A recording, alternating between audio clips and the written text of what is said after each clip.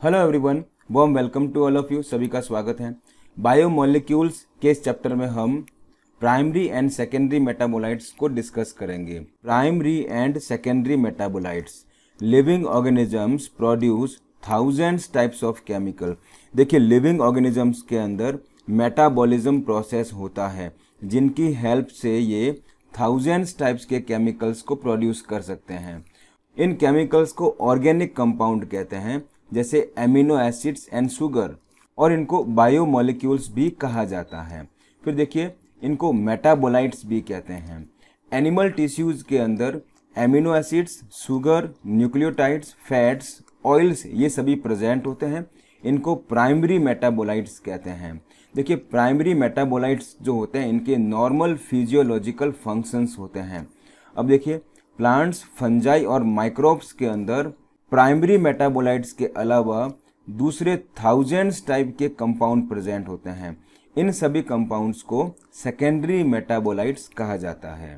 फिर देखिए example of secondary metabolites like alkaloids flavonoids rubber essential oil antibiotics coloured pigments scent gums and spices ये सभी secondary metabolites के example होते हैं।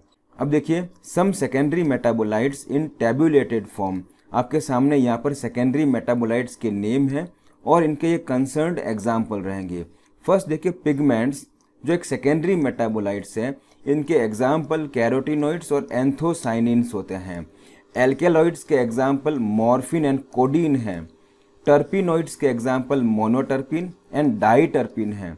एसेंशियल ऑयल जो होते हैं, वो लेमन ग्रास ऑयल होते हैं। टॉक्सिन्स जो हैं इनके एग्ज़ाम्पल, एब्रिन एंड रिसिन होते हैं। लेक्टिन्स के एग्ज़ाम्पल, कॉन कैनावेलिन ए आते हैं। ड्रग्स के अंदर विन ब्लास्टिन एंड कुरकुमिन आते हैं। और लास्ट में पॉलीमेरिक सब्सटेंसेस के फॉर्म में रबर, गम, सेल्यूलोज, ये इनके एग्जाम्पल्स हैं। फिर देखिए, uses of secondary metabolites. Very first is the plant used as defence against herbivores and pathogen देखिए सेकेंडरी मेटाबोलाइट्स का एक स्पेशल टेस्ट टेक्सचर और स्मेल होती है। इनके कारण हर्बी वॉर और पैथोजन जो होते हैं, वो इनसे दूर रहते हैं। तो ऐसे प्लांट के अंदर ये अपना इन्फेक्शन नहीं करते हैं या ये प्लांट को फ़ूड के फॉर्म में यूज़ नहीं करते हैं। इनका अपना एक इकोलॉजिकल इम्पोर्टेंस होता है।